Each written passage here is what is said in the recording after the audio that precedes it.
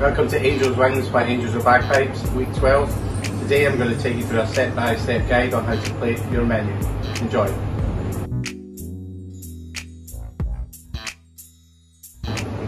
For the starter, take the goat cheese mousse, just pop that in the centre of the plate. I'm going to take your marinated beetroots, pop them around. I'm going to take the pickled beetroots,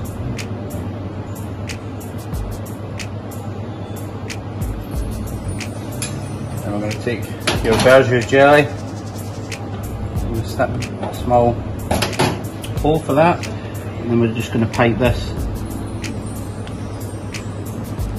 around in between the beetroots.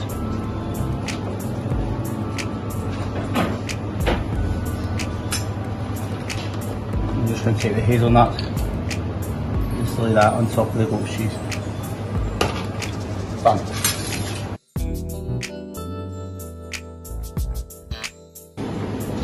For the chicken, once the box for the main course is out of the oven, start to warm through your jus and your mushroom puree. Once that's hot, put the potato at the top of the plate,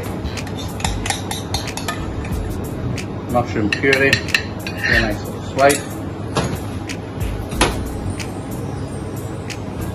clean the leek, raise leek against the potato.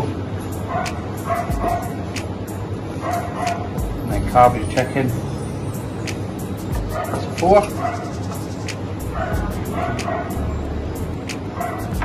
Back to the side.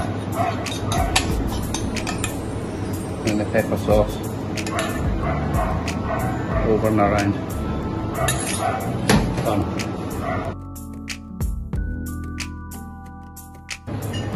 For the lemon curd, to take a fish slice, just pop that in the centre of the plate. Again, we just snip the end off the piping bag. I'm just going to pipe random dots over and on top of the curd.